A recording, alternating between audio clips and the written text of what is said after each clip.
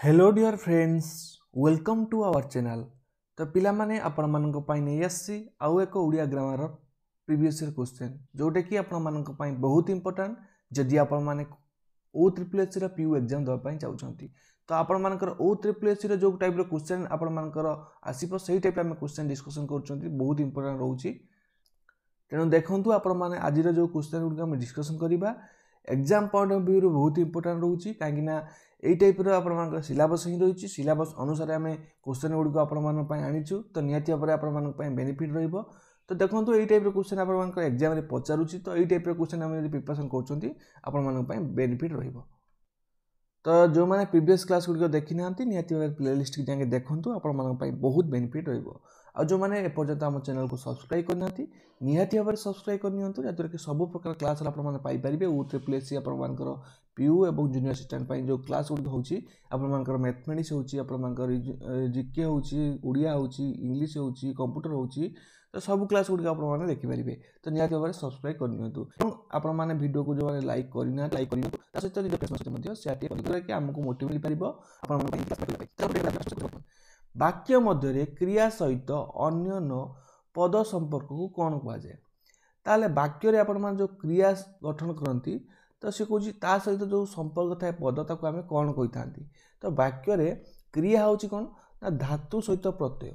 ଧାତୁ ସହିତ ଆମେ ପ୍ରତ୍ୟୟ ଯୋଗ କରନ୍ତି ତାକୁ ଆମେ କ'ଣ କହନ୍ତି? ନା କ୍ରିୟାପଦ କହିଥାନ୍ତି। ତ ସେଥିପାଇଁ ସେ କହୁଛି କ୍ରିୟାପଦରେ ମଧ୍ୟରେ ଯେଉଁ ମାନେ ସମ୍ପର୍କ ଥାଏ ଅନ୍ୟ ପଦର ତାକୁ ଆମେ କ'ଣ କହିଥାନ୍ତି? ତ ୟାର ରାଇଟ୍ ଆନ୍ସର୍ ହେବ କ'ଣ ପିଲାମାନେ? ସେ କହୁଛି ବାକ୍ୟ ମଧ୍ୟରେ କ୍ରିୟା ସହିତ ଅନ୍ୟ ଅନ୍ୟାନ୍ୟ ପଦର ସମ୍ପର୍କକୁ। ଅନ୍ୟାନ୍ୟ ପଦର ସମ୍ପର୍କକୁ କ'ଣ କୁହାଯାଇଥାଏ? ଦେଖନ୍ତୁ ଆମ ଏଇ ଯେଉଁ ଜିନିଷଟା କହିଛି ଦେଖ ଆମର ଗୋଟେ ବାକ୍ୟ ଲେଖିବା ରାମ ଭାତ ଖାଉଛି। ଠିକ୍ ଅଛି? ତ ସିଏ କହୁଛି ବାକ୍ୟ ମଧ୍ୟ ଏଇଟା ଭଲସେ ବୁଝିବାକୁ ପଡ଼ିବ ବାକ୍ୟ ମଧ୍ୟରେ କ୍ରିୟା ସହିତ ଅନ୍ୟାନ୍ୟ ପଦର ସମ୍ପର୍କ କ'ଣ କୁହାଯାଏ? ମନେକର କହିବା ରାମ କ'ଣ ଖାଉଛି? କ'ଣ ଲଗେଇ ପ୍ରଶ୍ନ କଲେ ଯେଉଁଟା ଉତ୍ତର ଆସିଲା ସେଇଟା କ'ଣ ହେଲା ନା କର୍ମ ହେଲା? ସେଇଟା ହେଲା କ'ଣ? କର୍ମ। ଯେଉଁଟାକି ଦ୍ୱିତୀୟ ବିଭକ୍ତି। ଗୋଟେ ଆପଣମାନଙ୍କ ଦ୍ୱିତୀୟ ବିଭକ୍ତି ହେଲା କର୍ମ। ବୁଝିହେଉଛି କି ନାହିଁ? କିଏ ଭାତ ଖାଉଛି? ରାମ ଖାଉଛି। କିଏ ଲଗେଇ ପ୍ରଶ୍ନ କଲେ କ'ଣ ମିଳିବ? କର୍ତ୍ତା। ବୁଝିହେଉଛି କି ନାହିଁ? ତ ଆମେ ଯେତେବେଳେ କୌଣସି ଜିନିଷକୁ କ'ଣ କାହାକୁ କିଏ ଏମିତି ଲଗେଇକି କ୍ରିୟାକୁ ପ୍ରଶ୍ନ କରୁଛନ୍ତି। ତ ସେତେବେଳେ ଆମେ ଯେଉଁ ଉତ୍ତର ପାଉଛନ୍ତି କେଉଁଠି କର୍ମ ପାଉଛନ୍ତି କେଉଁଠି କର୍ତ୍ତା ପାଉଛନ୍ତି କେଉଁଠି କରଣ ପାଉଛନ୍ତି କେଉଁଠି ଅଧିକରଣ ପାଉଛନ୍ତି ଏଗୁଡ଼ିକ କ'ଣ ପିଲାମାନେ? ଏଗୁଡ଼ିକ ହେଉଛି ଗୋଟେ ଗୋଟେ କାରକ। ବୁଝି ହେଉଛି କି ନାହିଁ ତ ଏଗୁଡ଼ିକ କ'ଣ? ନା କାରକ। ଯଦି ଆମେ ଦେଖିବା ଓଡ଼ିଆ ଗ୍ରାମାରରେ ଆପଣମାନଙ୍କର ଟୋଟାଲ୍ ରହିଛି ସାତ ଗୋଟି ବିଭକ୍ତି। ବିଭକ୍ତି କେତେଟା ରହିଛି? ସାତଟି ବିଭକ୍ତି। ଏକ ଦୁଇ ତିନି ଚାରି ପାଞ୍ଚ ଛଅ ସାତ। ଏଇ ହେଲା ସାତଟି ବିଭକ୍ତି। ବଟ୍ ଆମର ଯେଉଁ ଷଷ୍ଠ ବିଭକ୍ତି ଷଷ୍ଠ ବିଭକ୍ତିଟିକୁ କୌଣସି କାରକରେ ଅନ୍ତର୍ଭୁକ୍ତ କରାଯାଇ ନାହିଁ। ଷଷ୍ଠ ବିଭକ୍ତିଟା ଗୋଟେ ହେଉଛି କ'ଣ? ସମ୍ବନ୍ଧ ଷଷ୍ଠୀ ଭାବରେ ବିବେଚିତ କରାଯାଇଛି। ତ ଆମେ ଷଷ୍ଠ ବିଭକ୍ତିରେ କାରକ ନେଇପାରିବା ନାହିଁ। କେବଳ ଆଉ ଯେଉଁ ବିଭକ୍ତି ଗୁଡ଼ିକ ରହିଲା ସେଗୁଡ଼ିକ ଗୋଟେ ଗୋଟେ କାରକ। ବୁଝିହେଲା? ଏଇ ହିସାବରେ ଆପଣମାନେ ସମସ୍ତେ କ୍ଲିଅର କରିଯାଆନ୍ତୁ କନସେପ୍ଟ ଗୁଡ଼ିକୁ। ସିଏ ପଚାରିଛି ବାକ୍ୟ ମଧ୍ୟରେ କ୍ରିୟା ସହିତ ଅନ୍ୟାନ୍ୟ ପଦର ସମ୍ପର୍କକୁ କାରକ ବୋଲି କହିଥାନ୍ତି ତ ଅପସନ୍ ନମ୍ବର ଡି ହେବ ଏହାର ସଠିକ୍ ଆନ୍ସର୍ ବୁଝିହେଲା? ନେ ଦେଖିବା ୱାନ୍ ଥାର୍ଟି ଟୁ ବଢ଼ିଆ କ୍ୱେଶ୍ଚନ୍ଟେ ଥିଲା ସେଇଟା। ଦେଖନ୍ତୁ next question one thirty two ଭଙ୍ଗୁର ଶବ୍ଦର ପ୍ରକୃତି ପ୍ରତ୍ୟୟ କ'ଣ ହେବ ଆପଣମାନଙ୍କର ସନ୍ଧି ରହୁଛି ବୁଝିହେଉଛି କି ଏଇ ଟାଇପ୍ର ଆପଣଙ୍କର ପଚାରିବ ହେଲା ଭଙ୍ଗୁର ଶବ୍ଦର ପ୍ରକୃତି ପ୍ରତ୍ୟୟ କ'ଣ ହେବ ଭଙ୍ଗୁର ଭଙ୍ଗୁର ତାକୁ ଆମେ ସନ୍ଧି ବିଷୟରେ କରୁଛନ୍ତି ଭଞ୍ଜ ଯୁକ୍ତ ଉର ହେବ କ'ଣ ହେବ ଭଞ୍ଜ ଯୁକ୍ତ ଉର ହେବ ଅପସନ୍ ନମ୍ବର ସି ହେବ ଏହାର correct answer option number C ହେବ ଏହାର କରେକ୍ଟ ଆନ୍ସର୍ ନେଇ ଦେଖିବା ୱାନ୍ ଥାର୍ଟି ଥ୍ରୀ କ୍ୱେଶ୍ଚନ୍କୁ ଅନ୍ୟ ଲୋକଙ୍କୁ ଅନ୍ୟ ଲୋକଙ୍କୁ ସମ୍ମାନ ଦେଲେ ନିଜର ସମ୍ମାନ ବଢ଼େ ଅନ୍ୟ ଲୋକଙ୍କୁ ସମ୍ମାନ ଦେଲେ ନିଜର ସମ୍ମାନ ବଢ଼େ। ରେଖାଙ୍କିତ ଶବ୍ଦଟି କି ପ୍ରକାର ସର୍ବନାମ? ଗୋଟେ ହେଲା ଅନ୍ୟ। ଅନ୍ୟଟା କେଉଁ ପ୍ରକାର ସର୍ବନାମ?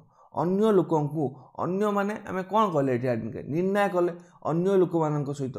ବୁଝିହେଉଛି ଅନ୍ୟ ଲୋକଙ୍କୁ ସମ୍ମାନ କଲେ ନିଜର ସମ୍ମାନ ବଢ଼େ ତାହେଲେ ଅନ୍ୟ ହେଉଛି ଏଠି କ'ଣ ନିର୍ଣ୍ଣାୟକ ସର୍ବନାମ କ'ଣ ହେବ ନିର୍ଣ୍ଣାୟକ ସର୍ବନାମ ଆମେ ପଢ଼ିବା ସର୍ବନାମ ମଧ୍ୟ ପଢ଼ିବା କାହିଁକିନା ଆପଣଙ୍କ ସିଲାବସ୍ରେ ହୁଏତ ନଥାଇପାରେ କିନ୍ତୁ କ'ଣ କ'ଣ ସିଲାବସ୍ରେ ନାହିଁ କିନ୍ତୁ ଆମକୁ ପଢ଼ିବାକୁ ପଡ଼ିବ ତାକୁ ମୁଁ ଆପଣମାନଙ୍କୁ ଗୋଟେ ଭିଡ଼ିଓ ମାଧ୍ୟମରେ ଜଣାଇଦେବି ବହୁତ ଶୀଘ୍ର ନାଇଁ ଦେଖନ୍ତୁ ୱାନ୍ ଥାର୍ଟି ଫୋର୍ ପିଲାଟିର କଷ୍ଟ ଦେଖି ମୋତେ କାନ୍ଦ ଲାଗିଲା ରେଖାଙ୍କିତ ଶବ୍ଦଟି କି ପ୍ରକାର ସର୍ବନାମ ଦର୍ଶା କି ପ୍ରକାର ସର୍ବନାମ କାନ୍ଦ କାନ୍ଦଟା କେଉଁ ପ୍ରକାର ସର୍ବନାମ ଜାତିବାଚକ ଗୁଣବାଚକ ବସ୍ତୁବାଚକ ନା କ୍ରିୟାବାଚକ ତ କାନ୍ଦିବାଟା ଏକ କ୍ରିୟା କାନ୍ଦିବାଟା ଯେଉଁ କ୍ରିୟା ତାହେଲେ ସେଇଟା ହେବ କ୍ରିୟାବାଚକ ବିଶେଷ ସରି ସର୍ବନାମ ତ ରାଇଟ୍ ଆନ୍ସର୍ ହେବ ଅପସନ୍ ନମ୍ବର ଡି କ୍ଲିଅର ନାଇଁ ଦେଖିବା କ୍ୱେଶ୍ଚନ୍ ୱାନ୍ ଥାର୍ଟି ଫାଇଭ୍ ଦେଖନ୍ତୁ ଆମର ବାକ୍ୟରେ ଦୁଇଟି କର୍ମ ଥାଏ କ'ଣ ଥାଏ ଗୋଟେ ହେଲା ମୁଖ୍ୟ କର୍ମ ଆଉ ଗୋଟେ ହେଲା ଗୌଣ କର୍ମ ତାଙ୍କର ଧାତୁ କୁହାଯାଏ ମୁଖ୍ୟ ଧାତୁ ଏବଂ ଗୌଣ ଧାତୁ ବୁଝିହେଉଛି କି ନାହିଁ ଯେତେବେଳେ ଆମେ ବାକ୍ୟରେ ଆମେ କହିବା ରାମ ରାମ ଭାତ ଖାଇ ସ୍କୁଲ ଯାଉଛି। ଭାତ ଖାଇ ସ୍କୁଲ ଯାଉଛି। ସ୍କୁଲକୁ ଯାଉଛି। ସ୍କୁଲକୁ ଯାଉଛି। ବୁଝୁଛି କି ନାହିଁ ଭାତ ଖାଇ ସ୍କୁଲକୁ ଯାଉଛି। ତ ଦେଖ ଏଇଠି ଆମେ କ'ଣ ଖାଇ ସ୍କୁଲ ଯାଉଛି? ଭାତ। ତ କ'ଣ ହେଉଛି ଏଠି କ'ଣ? କର୍ତ୍ତା। ସରି ଆମର ଯେଉଁଟା କର୍ମ। କେଉଁ କର୍ମ? ନା ମୁଖ୍ୟ କର୍ମ। କେଉଁ କର୍ମ? ନା ମୁଖ୍ୟ କର୍ମ। କେଉଁଠିକି ଯାଉଛି ସ୍କୁଲକୁ ଯାଉଛି ଏଇଟା ହେଲା କ'ଣ ଗୌଣ କର୍ମ ଏଇଟା ହେଲା କ'ଣ ନା ଗୌଣ କର୍ମ ମୁଁ ଆପଣଙ୍କୁ ଗୋଟେ ଏକ୍ଜାମ୍ପଲ୍ ନେଲି। ବୁଝିହେଉଛି କି ନାହିଁ ତ ବାକ୍ୟରେ ଯେଉଁଟା କ'ଣ ଲଗେଇ ପ୍ରଶ୍ନ କରାଯାଏ ହ୍ୱାଟ୍ ଲଗେଇ ପ୍ରଶ୍ନ କରାଯାଏ ଯେଉଁଟା ଆନ୍ସର୍ ଆସେ ସେଇଟା ହେଲା ମୁଖ୍ୟ କର୍ମ। ଏବଂ ନେକ୍ସଟ କାହାକୁ ଲଗେଇ ପ୍ରଶ୍ନ କଲେ କେଉଁଠିକି ଏଇସବୁ ଲଗେଇକି ପ୍ରଶ୍ନ କଲେ ତ ଆମେ ପାଇଥାନ୍ତି ଗୌଣ କର୍ମ ତ ସେ କହୁଛି ମୁଖ୍ୟ ଓ ଗୌଣ ଧାତୁକୁ ଏଙ୍କର ଧାତୁ ଭାତ ସେମିତି ତାର ଧାତୁ ଏବଂ ତାର ପ୍ରତ୍ୟୟ ରହୁଛି। ପ୍ରତ୍ୟେକ ଆପଣଙ୍କ ଶବ୍ଦରେ ଧାତୁ ପ୍ରତ୍ୟୟ ମିଶିକି ରହୁଛି ନା? ତ ସେଇ ହିସାବରେ ଆମେ କହିବା ମୁଖ୍ୟ ଗୌଣ ଗୌଣ ଧାତୁରୁ ଗଠିତ କ୍ରିୟାକୁ କ'ଣ କୁହାଯାଏ? ମୁଖ୍ୟ ଗୌଣ ଧାତୁରୁ ଗଠିତ କ୍ରିୟାକୁ କ'ଣ କୁହାଯାଏ? ଯେତେବେଳେ ଦୁଇଟା ଧାତୁ ମିଶିଯିବ ଗୋଟେ ମୁଖ୍ୟ ଧାତୁ ଆଉ ଗୋଟେ ଗୌଣ ଧାତୁ ତାକୁ ଆମେ କହିବା ଯୌଗିକ କ୍ରିୟା। ମନେ ରଖିଥାନ୍ତୁ ମୁଖ୍ୟ ଧାତୁ ଆଉ ଗୌଣ ଧାତୁର ଯେଉଁ ନିଷ୍ପନ୍ନ କ୍ରିୟାଟାକୁ ଆମେ ଯୌଗିକ କ୍ରିୟା ବୋଲି କହିଥାନ୍ତି। ହେଲା ନେଇ ଦେଖିବା question number one thirty six ମନ ଘର ଧରିବା। ତ ମନ ଘର ଧରିବା ରୂଢ଼ିଟିର ଅର୍ଥ କ'ଣ? ମନ ଘର ଧରିବା ମାନେ କ'ଣ? ଅସ୍ଥିର ହେବା ଚିନ୍ତା କରିବା ଘରମୁହାଁ ହେବା ନା ଥୟ ଧରିବା? ମନ ଘର ଧରିବା। କହୁଛନ୍ତି ନା ମନ ଘର ଥୟ ଧରିବା ହେଲା? ମନ ଘର ଧରିବା ମାନେ ଥୟ ଧରିବା ହେଲା? ଅପସନ୍ ନମ୍ବର ଡି ହେବ ୟାର ରାଇଟ୍ ଆନ୍ସର୍ ଠିକ୍ ଅଛି? ନେଇ ଦେଖିବା one thirty seven one thirty seven ଦେଖନ୍ତୁ ପିଲାମାନେ ପାଷାଣ୍ଡର ଶୁଦ୍ଧ ରୂପ ନିର୍ଣ୍ଣୟ କର। ପାଷାଣ୍ଡ ପାଷାଣ୍ଡର ଶୁଦ୍ଧ ରୂପ କ'ଣ ହେବ ପିଲାମାନେ? ପାଷାଣ୍ଡ। ପାଷାଣ୍ଡ ହେଲା ଯେଉଁଟାକି ପରାକାର ପା ମୁଦ୍ର ମୁଦ୍ନେଶ ଏବଂ ନଣ୍ଡ ପାଷାଣ୍ଡ ହେଲା ପାଷାଣ୍ଡ ପାଷଣ୍ଡ ହେଲା ତାର ଆକ୍ଚୁଆଲି ସ୍ପେଲିଂ ହେଲା ପାଷଣ୍ଡ। ଅପସନ୍ ନମ୍ବର ସି ହେବ ୟାର ରାଇଟ୍ ଆନ୍ସର୍ ଠିକ୍ ଅଛି? ଦେଖନ୍ତୁ ନେକ୍ସଟ କ୍ୱେଶ୍ଚନ୍ ଉପପଦ କେଉଁ ଅର୍ଥରେ ଏହା ଅବୟ ଭାବ ସମାସ ହୋଇଛି? ତ ଦେଖନ୍ତୁ ଆମେ କାହିଁକି କାରକ ବିଭକ୍ତି ପଢ଼ିବା? କାହିଁକି ଆମେ ଅବୟ ପଢ଼ିବା? କାହିଁକି ଆମେ ସର୍ବନାମ ପଢ଼ିବା? କାହିଁକି ନା ଏଗୁଡ଼ିକୁ ପଢ଼ିଲେ ଆପଣମାନେ ସମାସ କରିପାରିବେ। ସମାସଟା ଆପଣଙ୍କ ସିଲାବସରେ ଅଛି କି ନାହିଁ? ଅଛି। ତ ମୁଁ ଆପଣଙ୍କୁ ବୁଝେଇବି କାହିଁକି ଏଗୁଡ଼ା ସବୁ ପଢ଼ିବାକୁ ପଡ଼ିବ ମୁଁ ଆପଣଙ୍କୁ ଜଣାଇବି ଠିକ୍ ଅଛି? ଉପପଦ ହେଉଛି କେଉଁ ଅର୍ଥରେ ଅବଭାବ ସମାସ ହୋଇଛି? ଯୋଗ୍ୟତା ଅର୍ଥରେ ସାଦୃଶ୍ୟ ଅର୍ଥରେ ବିପ୍ସା ଅର୍ଥରେ ନା ସମୀପ ଅର୍ଥରେ? ବିପ୍ସା ମାନେ ବାରମ୍ବାର ଉଚ୍ଚାରଣ ହେଉଥିବ ଉପପଦ ଠିକ୍ ଅଛି? ତ ୟାର ରାଇଟ୍ ଆନ୍ସର୍ କ'ଣ ହେବ?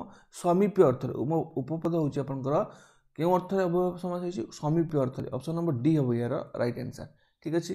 ଦେଖିବା ୱାନ୍ ଥାର୍ଟି ନାଇନ୍ ଆବାଳ ବୃଦ୍ଧ ବନିତା ସମସ୍ତେ ସଭାରେ ଯୋଗ ଦେଇଥିଲେ।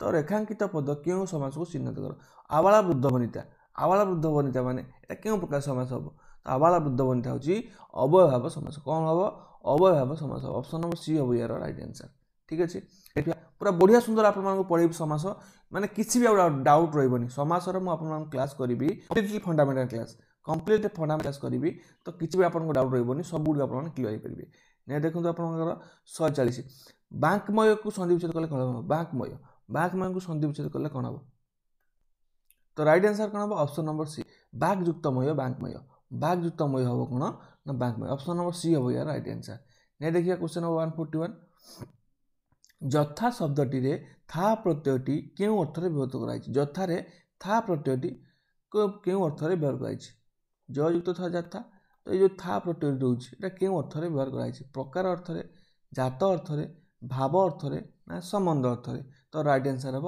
ପ୍ରକାର ଅର୍ଥରେ। କ'ଣ ହେବ? ନା ପ୍ରକାର ଅର୍ଥରେ। ଅପସନ୍ ନମ୍ବର ଏ ହେବ ୟାର ରାଇଟ୍ ଆନ୍ସର୍ ଠିକ୍ ଅଛି? ନେ ଦେଖିବା। ଚନ୍ଦ୍ରୋଦୟରେ ଆକାଶ ନିର୍ମଳ ଦେଖାଗଲା। ଉକ୍ତ ବାକ୍ୟଟି କେଉଁ ପ୍ରକାର ବାକ୍ୟ? ଏଇଟା ଗୋଟେ କର୍ତ୍ତୃବାଚ୍ୟ ବାକ୍ୟ ନା ସରଳ ବାକ୍ୟ ନା ଜଟିଳ ବାକ୍ୟ ନା ଯୋଗ୍ୟ ବାକ୍ୟ। ଚନ୍ଦ୍ରୋଦୟରେ ଆକାଶ ନିର୍ମଳ ଦେଖାଗଲା। ଦେଖନ୍ତୁ ଏଠି ଆପଣମାନଙ୍କର କେତେଟା ସମାପିକା କ୍ରିୟା ରହିଛି? ଗୋଟିଏ। ଉ ଏବଂ କିଛି ଲାଗିନାହିଁ। ବୁଝିହେଉଛି ଯଦି ତେବେ କିଛି ସେମିତି ଲାଗିଛି ଲାଗିନି। ତ ନିହାତି ଭାବରେ ଏଇଟା ଆମର ଜଟିଳ ବାକ୍ୟ ହେଇପାରିବନି କି ଯୋଗ୍ୟ ବାକ୍ୟ ହେବନି କି କର୍ତ୍ତୃବାଚ୍ୟ ବାକ୍ୟ ହେବନି। ତ ସିମ୍ପଲ୍ କଥା ଆପଣଙ୍କର ଏଇଟା ଗୋଟିଏ ସରଳ ବାକ୍ୟ। ତ ରାଇଟ୍ ଆନ୍ସର୍ ହେବ ଅପସନ୍ ନମ୍ବର ବି ସରଳ ବାକ୍ୟ। ବୁଝିହେଲା? ନେ ଦେଖିବା କ୍ୱେଶ୍ଚନ୍ ନମ୍ବର ଫୋର୍ଟି ଥ୍ରୀ ଦୀପାବଳିରେ ଘରେ ଘରେ ଦୀପ ଜଳେ। ରେଖାଙ୍କିତ ଶବ୍ଦଟିର ବିଭକ୍ତି ନିର୍ଣ୍ଣୟ କର।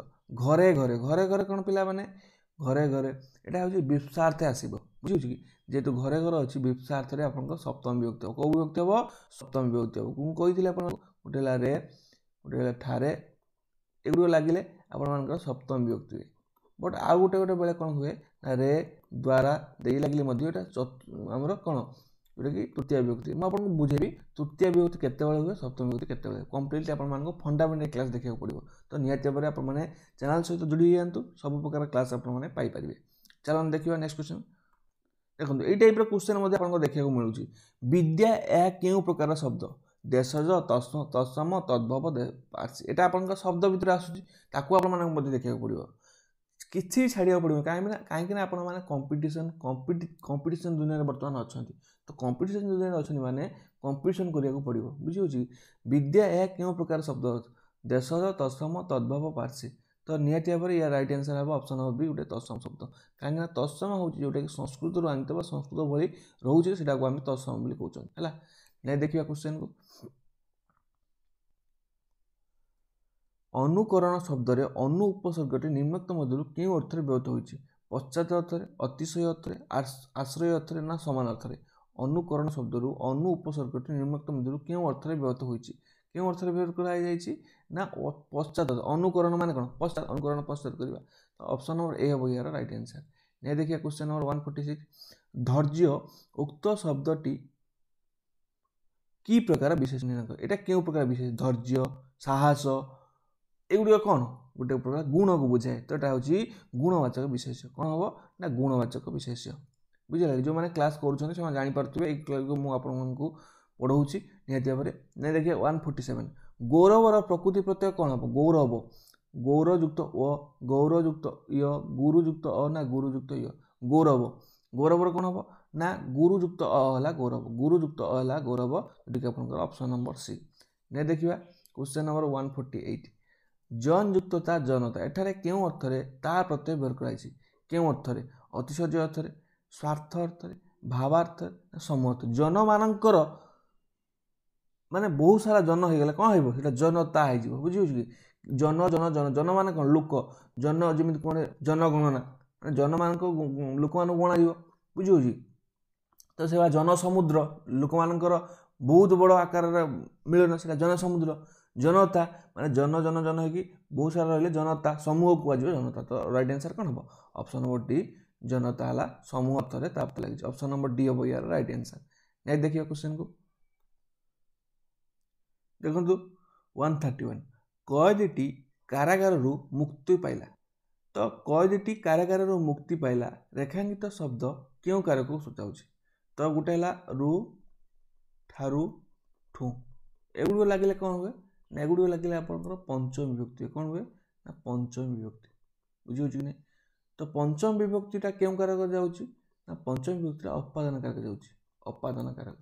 ତ ଅପାଦାନ କାରକ ହେବ right answer option number D option number D ହେବ ୟାର ରାଇଟ୍ ଆନ୍ସର୍ ବୁଝିହେଉଛି ନାହିଁ କାରକ ମୁଁ ଆପଣଙ୍କୁ କହିଲି କାରକ ହେଉଛି ଯେଉଁଟାକି ଛଅ ପ୍ରକାରର ବିଭକ୍ତି ହେଉଛି ସାତ ପ୍ରକାରର। ପ୍ରଥମ ବିଭକ୍ତିକୁ ଆମେ କହିଥାନ୍ତି ପ୍ରଥମ ବିଭକ୍ତି କହିଥାନ୍ତି ଆମେ କର୍ତ୍ତା କାରକ ବୋଲି ଦ୍ୱିତୀୟ କହିଥାନ୍ତି ଆମର କର୍ମକାରକ ବୋଲି ତୃତୀୟ କହିଥାନ୍ତି ଆମର କରଣ କାରକ ବୋଲି ଚତୁର୍ଥକୁ କହିଥାନ୍ତି ଆମର ସମ୍ପ୍ରଦାନ କାରକ ବୋଲି ଏବଂ ପଞ୍ଚମୀ କହିଥାନ୍ତି ଅପାଦାନ କାରକ ବୋଲି ଏବଂ ଷଷ୍ଠୀଟା ଏକ କାରକର ଅନ୍ତର୍ଭୁକ୍ତ ନୁହେଁ ସେଟା କୁହନ୍ତି ଷଷ୍ଠୀ ବିଭକ୍ତି ବା ସମ୍ବନ୍ଧୀ ଷଷ୍ଠୀ ବୋଲି କୁହାଯାଏ। ଏବଂ ସପ୍ତମୀଟା ହେଉଛି ଆମର ଅଧିକରଣ କାରକ ବୁଝିହେଉଛି ନାହିଁ ଏମିତି ଆମର ସାତଟି ବିଭକ୍ତି ଅଛି ଏବଂ କାରକ ସଂଖ୍ୟା ହେଉଛି ଛଅଟି।